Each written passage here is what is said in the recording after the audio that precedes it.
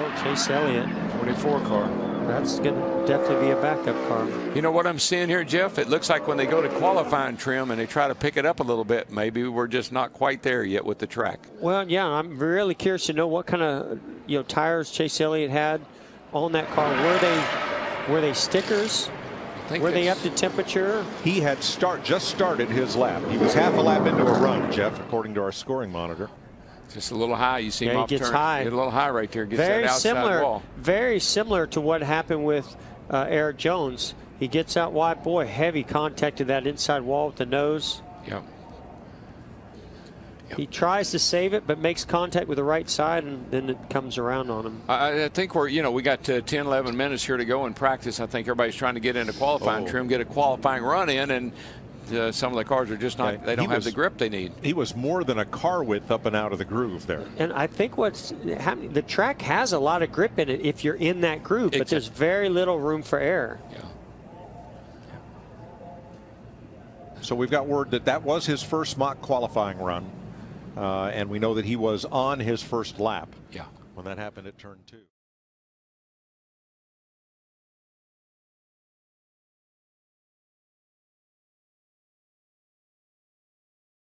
Right, thanks for talking to us. Good luck. Thank you. Now on Friday, every car had a chance to go through qualifying inspection once. Some went through multiple times. These nine drivers did not get through inspection in time to post a qualifying lap, so they earned starting spots due to their point standing position. Positions 32 to 40 and some big names there. Then, after the grid was set, three drivers will have to go to the back of the field. Kasey Kahne and Trevor Bayne crashed after qualifying. They're in backup cars. Jimmie Johnson spun at the end of his qualifying lap, and because he cannot start the race on those flat spotted tires, he had to change them, and his number 48 will have to go to the rear. 21-year-old Chase Elliott has scored more stage points than any other driver in the field. But that streak could be hard to run with today. Why? On Friday, he had a practice crash that forced the team to a backup car, and because they couldn't qualify, he's starting in the back. And his crew chief, Alan Gustafson, said, I'm not worried about my car or my driver. What I am concerned about is racing from the back to the front with all these cars on the edge.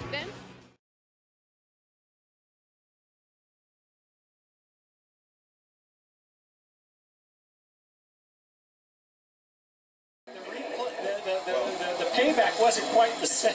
I think All I right, so remember Richmond, wasn't it? 24 is in victory lane, while the 24 brings out the caution here. Uh-oh, what happened? I don't see any damage. I don't It's see it's anything. a- What happened? Whoa now. Very, very seldom You do you do spin not. out here and not hit anything, but You I do believe not get Chase away Elliott with just did it. You just don't get away with that. Caution flag for Chase Elliott with 23 minutes to go in cup practice.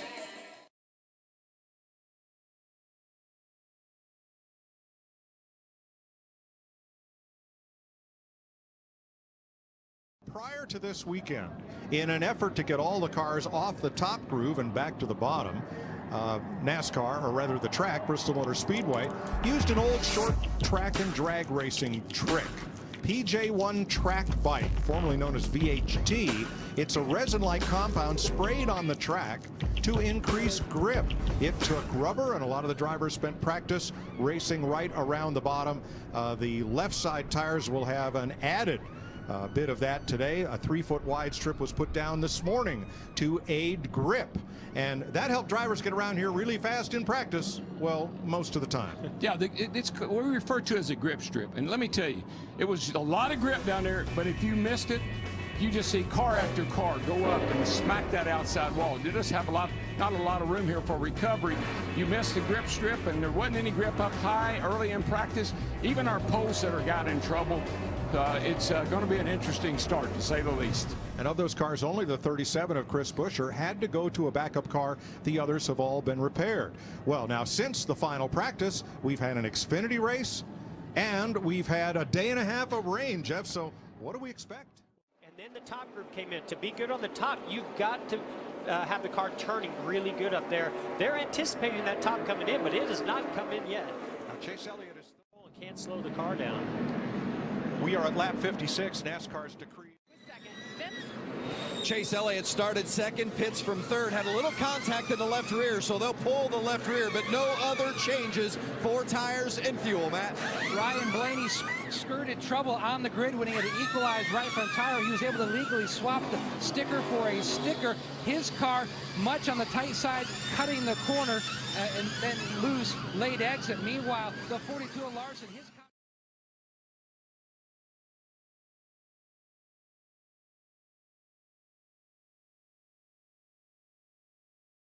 with Dylan Hart after he just won the Die Hard 500. What's the question, dude?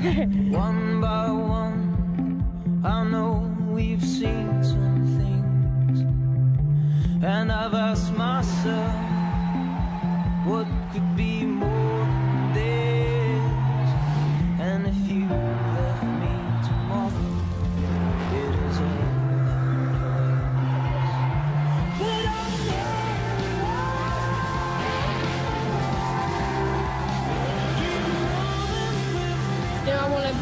to be a car driver someday. It's a great sport. I love it to death. You know, it's you know, it's all I've ever known, racing. That's the young Dale Earnhardt Jr. and here's the 42-year-old in his nationwide Hendrick Chevrolet starting 12th today. And it's the first race since announcing on Tuesday that this would be his final year as a driver. Start gravitating back towards the middle, back down to the bottom. I just, I just kind of like where Matt Kenseth is running. He has not gotten off that yellow line. No, he doesn't have to. He's got a good race car. And then you following along here with Chase Elliott. He's searched every square inch of this racetrack so far in this race, trying to find that groove that works best for him and gets the lap time. That's a good lap there. You're actually running Blaney down three cars ahead of you. Yeah, inside the car on that digital. Here's the restart. Let's watch it again. There's the restart zone.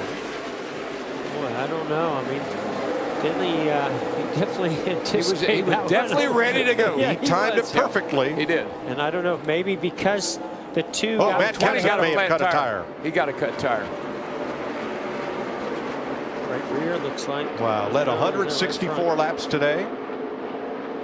Running in 10th place and now 72, then you come down. can't get to pit road. Can't get there.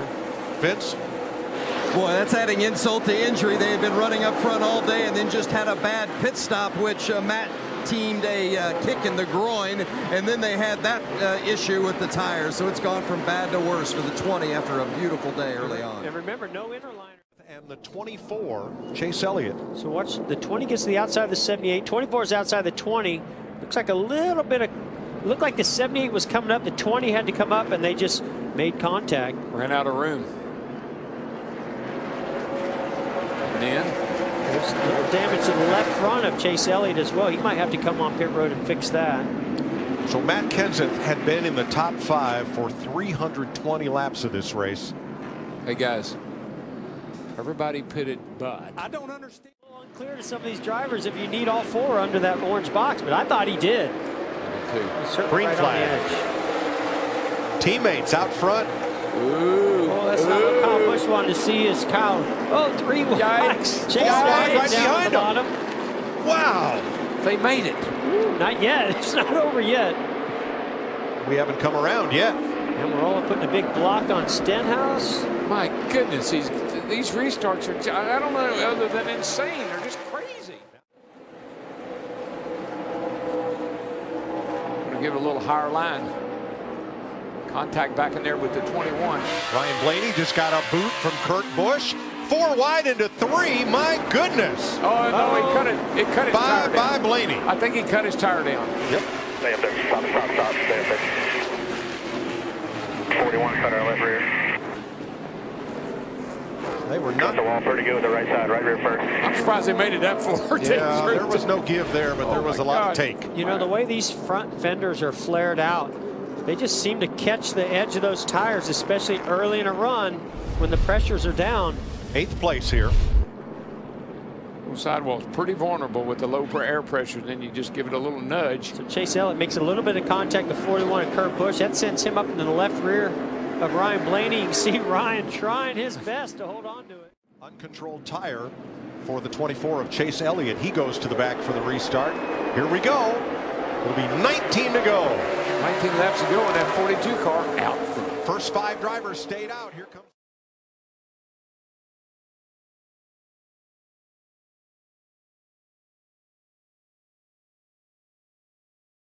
Typically, Daytona and Talladega are playgrounds for the veterans. In the last 10 years, only Trevor Bayne and Brad Keselowski won prior to their 100th Cup career start.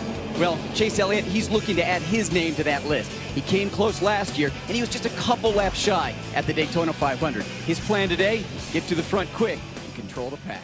Larry? Chase Elliott carrying one of Talladega's most famous names. His dad, Bill, holds the track record here.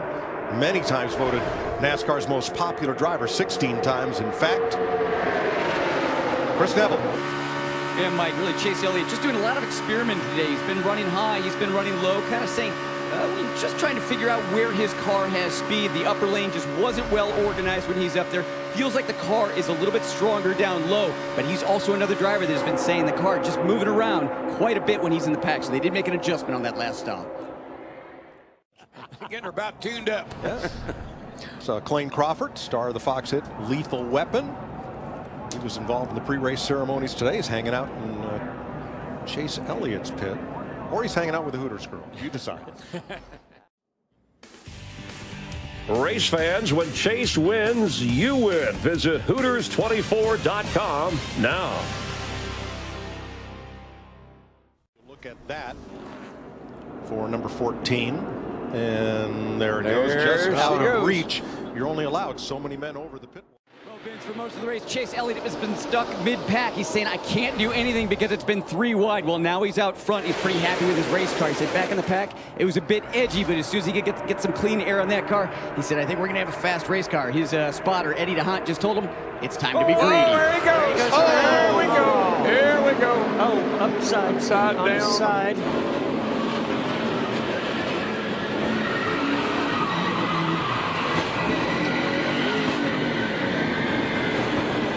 AJ, that was a humdinger. Yes, it was, and that's uh, there he is upside down, and I hope, hope he's all right. I see him moving around in there. I don't think there's any issue with him. Yeah, you just can't push on the left side of that rear bumper. Well, you just can't keep pushing. He got into the 24 and just kept on pushing. And here is the initial contact. You see Chase's car yawed out just a tiny bit in the corner. They got him That's all it That- takes. That's the one. He was going to save it till that last little bump. I was just going to say, AJ, just be a little patient here. We got a little ways to go yet, and uh, you got a pretty good car. Wow. In a moment. This is amazing footage, folks. Incredible camera work. And just remember, there's a driver in every one of those cars. Watch it. Well, that's a long, slow roll for Allmendinger. That and look, both those cars end up pretty much together along with the mess that was Logano's car and Michael McDowell's. Harvick had damage in that. So did Trevor Bayne, Erik Jones, Matt Kenseth, all involved. And as a driver, I, I've been upside down at Daytona one time and slid on my roof just like that, sparks flying. And I was just hoping at the last second it was going to roll back over so I could get out. But uh, AJ's didn't do that. He was stuck upside down. Not a comforting feeling. That oil tank is right behind you. It's very possible for oil to start leaking out. You want to get out of there as fast as you can. Looks like there were only about a dozen cars who had a chance to evade to the inside and not get any damage in this.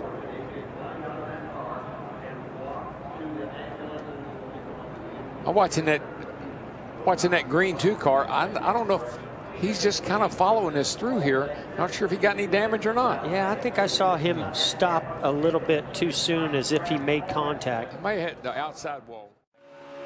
With Dale Jr. One outside, 77's outside. Keep coming low, low, low, low, low, low, low, low, low, low, come on. Wow. Caution's out, caution's out. Let's show you this in real time.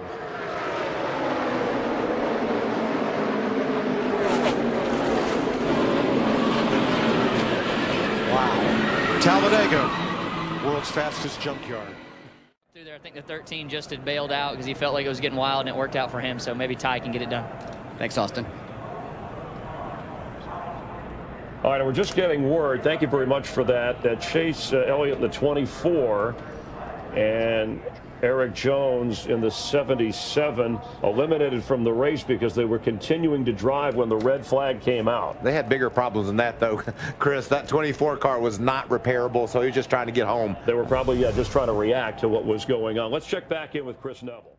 It is what it is. We'll uh, you know go on to the next week. Thanks, Joey. Well, last year in this race, we had 36 of the 40 cars that had some kind of damage. By the end of the race, we have at least 20 in the field so far today. And let's listen in. You saw the 24 car go into the air. And let's listen in on the radio communication of Chase Elliott. Was that my bad? No, that wasn't your bad. He just shoved you so hard he got you twisted up. You get a lot of momentum from drafting from behind, and Chase came off that corner with a little bit more momentum than he had before, and it looked like maybe the car just stepped out a bit, and Allmendinger hard on the gas into the back of Elliott, and that caused this crash. Kevin Harvick also caught up in this in the four car. Let's listen in to that transmission. He has split 15 laps in this race. Golly, that was close to being through there. Thought you made it. Couldn't tell who it was, and the 47 got out of the roof. I saw the 47 and the 24 roof numbers in my mirror. And speaking of A.J. Allmendinger in the 47, let's go back to Chris Neville. Yeah, boy, pretty scary moment on the back straightaway there. A.J. Allmendinger upside down. A.J., what happened there? Uh, just battling for the lead, you know. Uh, kind of the, the 18 and the 24 kind of were leading the, the two packs, and the four was just on me. And, uh, you know, once I got to Chase, I, got loose. I tried to, as we can see, I barely tapped him. Uh, and then I tried to get off him, and at that point it was too late. You know, just uh, one of those things, battling for the lead. And uh, the plan kind of went. We, we waited the back and, and uh, started moving forward there. And, and the way the pit cycles worked, we were up front, had a great restart. Um, had the right guys pushing me, so I uh, can't thank everybody at a race team enough, and, and Kroger and ClickList and everybody that's part of this. Um, hated that that happened. It's Talladega. I uh, not a big fan of it, but you're up front. You got a chance to go forward, and, and um, racing happens, I guess, here if we call that. Good to see you're okay. Thanks, AJ.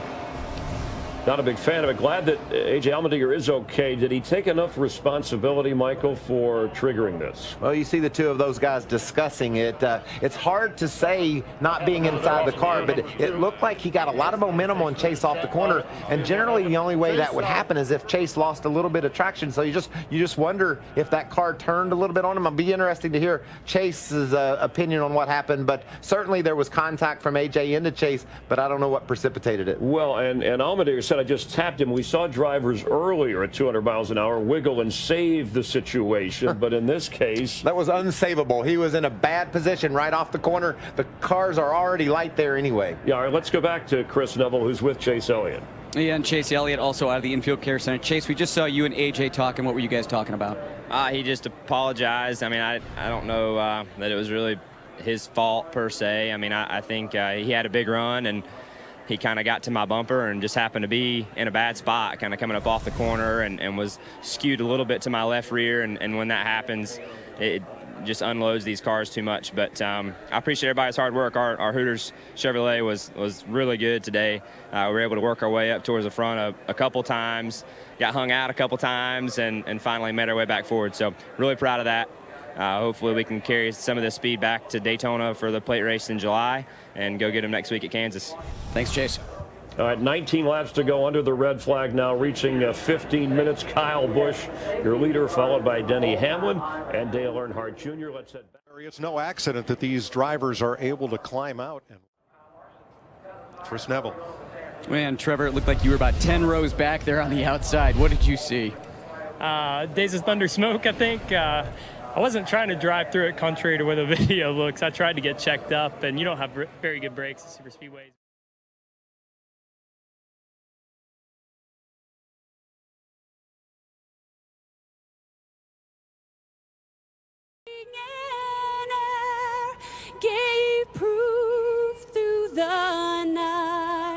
That our flag was still.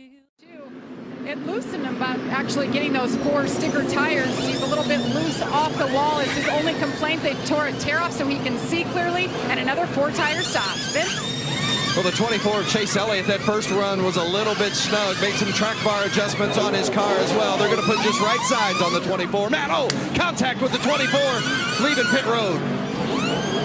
Close call there. Meanwhile, Truex's car, they're going to go with a four-tire change. The 21, he was much better firing off after that wedge adjustment. Dale Earnhardt Jr. just gets out of his pit, avoiding Michael McDowell's car. They are servicing McDowell's car while it faces the wrong way because it is parked within his pit stall. So that is legal, but look at the damage to Chase Elliott's number 24. And this is one of the, the, the challenges that comes along with taking two tires. You get in and out of your box while cars are still coming on pit road. Somebody's got to make that call. Let him know he's got to wait for that 95 to come into his box. And they were so lucky not to hit Dale Earnhardt Jr.'s tire carriers and tire changers right there in the midst of all that. Speed getting into the stall. Yeah, Mike, what you try to do is to find a spot uh, on the wall or, or an opening that you're close to or something that gives you an idea about where you are.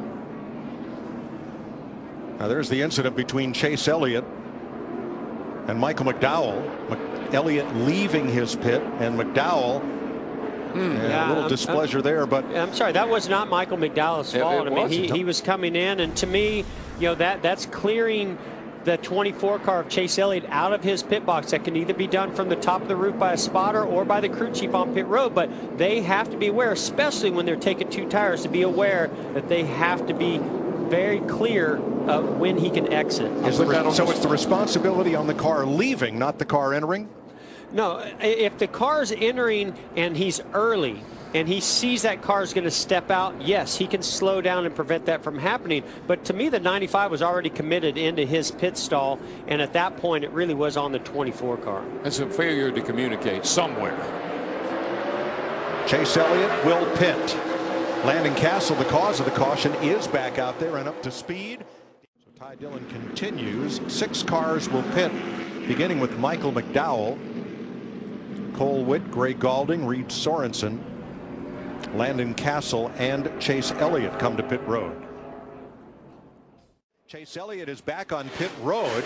He had been under NASCAR's crash clock, the damaged vehicle policy, but he got up to minimum speed, cleared that, and once they did that, now they're free to take their time and make full repairs without being on the crash clock. That watching incident. I think he thought he had a flat tire. and I think he's trying to recover here and fill it out. Vince?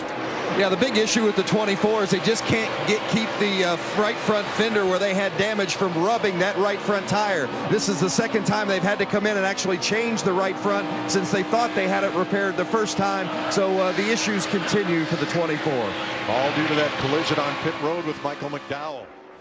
Very confident coming into this race.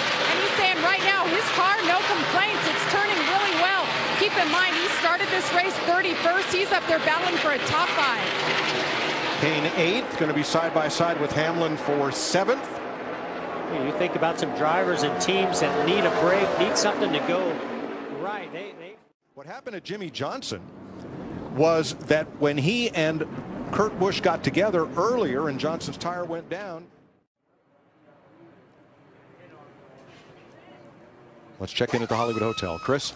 All right, thanks, Mike, and, and the crews. Everybody concerned about Eric. Everything in between. Visit the shops, get their souvenirs. Uh, I'll tell you, traffic, it's going to be busy around, uh, around that area for uh, about the next two weeks.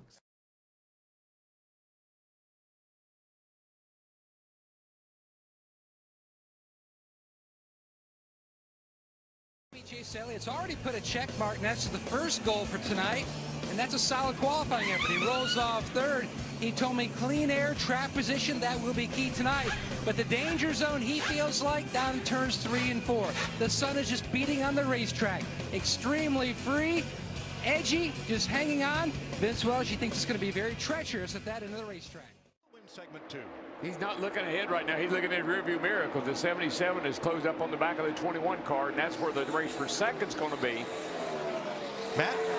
Mike Chase Elliott has dropped back to fifth, just telling his team he's on the splitter, especially in the turn one. He's having to back up his entry quite a bit just to get through the corner.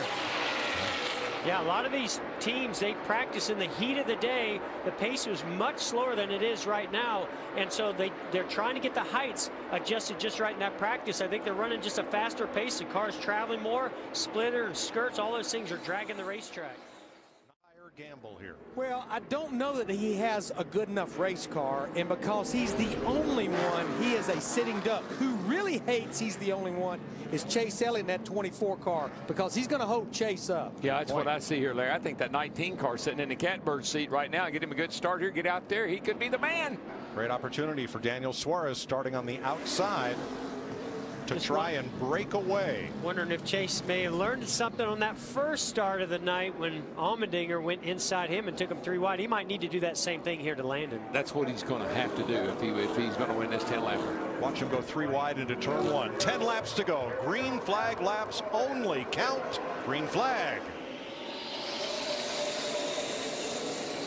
Oh! Oh, no. Well, Chase Elliott got a boot from Erik Jones, and around goes Cassill. Well, that's the fear that you have when you have those two tires that you're going to spin the tires really bad. Held up that line, and, and it's the open. You got to go, but Chase uh, got inside him got and some turned him damage around. on that right front over there. I don't know how bad that is, but he has some damage. 24 car does. I mean, Landon is. Well, He's protecting the inside is what he's doing. He knows what's coming. Watch the second and third rows on the inside. There's a lot of action there before we even get down to turn one. Yeah, I think I think that Landon Cassill knew what to expect. He knew Chase going to try to go three wide down in the corner down here. He tries to protect that inside.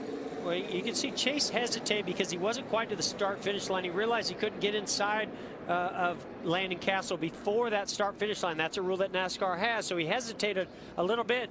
Then Erik Jones gave a little nudge to the 24. Landon comes down. They make contact. Around goes the 34. 24 has some damage on the right. I don't think it's significant, but there is some damage to the right front of the 24 car.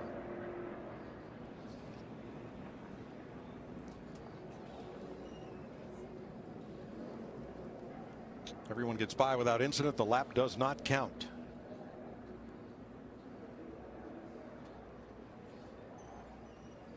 Yeah, I mean, that's just a, a racing incident on a, on a restart in a race like this.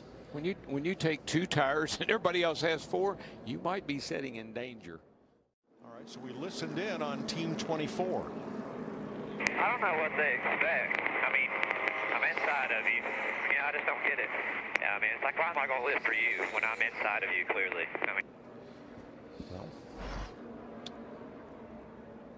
Good question. Yeah, well, I'm, I'm, sure the other side of it from Landon would, would be very similar from his side. Because too. I'm in front of you would be one reason. yes. That's exactly what he said. We see Erik Jones now going to the top side, going to try to make something happen. Whoa, he's there. He's looking. Oh, he's he, right there. He's he looked. He blocked. Whoa. Wow. Man, oh, they, they touched. contact. I don't think he's going to put up with much of that blocking in this race. It sure doesn't look like it. Whoa. Wow. Great job by Daniel Suarez to keep it straight. And Elliott to the lead. Yeah, but here comes It's that 77 over. too. While these two are up here monkeying around, here he comes.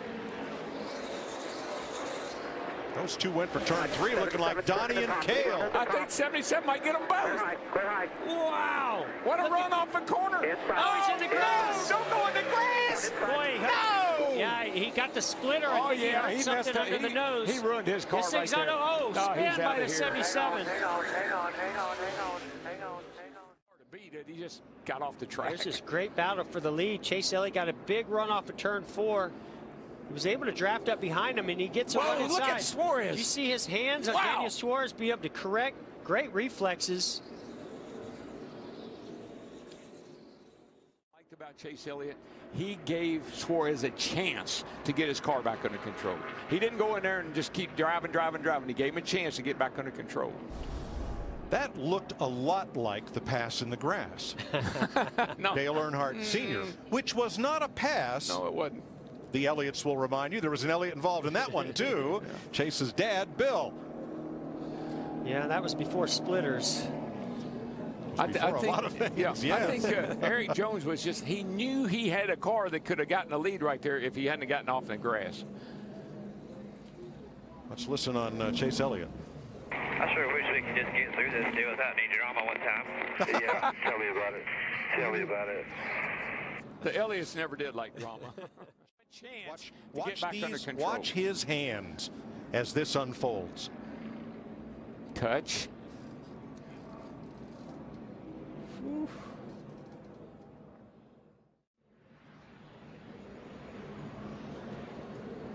We talked about uh, comparing this to the pass in the grass. Watch the three of Dale Earnhardt. Off the front bumper of Bill Elliott. That looked very similar to Daniel Suarez and Chase Elliott. Sure did. More so than maybe Erik Jones. Well, it ended all right for that guy. We're about to make official the results of the fan voting on NASCAR.com that concluded last night at midnight. Jeff Gordon gets to inform one lucky driver that he's in. Hey, Chase Elliott, this is Jeff up in the FS1 booth. You got me? Buddy, I, I know you didn't get in by uh, racing your way in, although you had a great race car and that was one crazy battle. But uh, I am happy to inform you, you did get the fan vote. You're in the All-Star race, buddy. Uh, well, I certainly appreciate everybody's vote. It means a lot to me, obviously. Uh, as you are, I'm a racer. We'd love to we'd love to race our way in and um, and whatnot. But it was a wild one for sure. We'd love to get through without any drama in this one. That'd be uh, be awesome. But like I say, I appreciate everybody's vote. It means a lot to me, and uh, we'll try to clean it up for tonight. Well, congrats. Maybe you'll go dra- drama-free in that All-Star race. go get them. Thanks. All right, drive it to your garage stall now. Daniel Suarez the winner. Austin Dillon second by 1.0 seconds. Chase Elliott third. Regan Smith finished fourth. Danica Patrick fifth. Ty Dillon. Welcome back to Charlotte Motor Speedway where the stage for driver introductions is being rolled into position. Four drivers have transferred into the All-Star race. Clint Bowyer, Ryan Blaney, Daniel Suarez winning the three stages and Chase Elliott by the fan vote. They'll move into the All-Star race. Matt and Daniel Suarez. Boy, stage three got off to a wild start. Landon Cassill had taken just two tires. He spun those on the wheel trying to stay off Chase Elliott. Erik Jones had a big run but got into the grass and that tore up. When will you use them? That's just one of the questions to be answered among the 20 drivers that will compete in the Monster Energy All-Star race tonight on FS. It's all coming up right here on FS1. Preparations underway right now, including the four cars that just transferred into the All-Star race being prepared. Clint Bowyer, stage one winner. Ryan Blaney, stage two winner. Daniel Suarez captured the checkered flag and Chase Elliott the fan vote. They're moving on and so are we.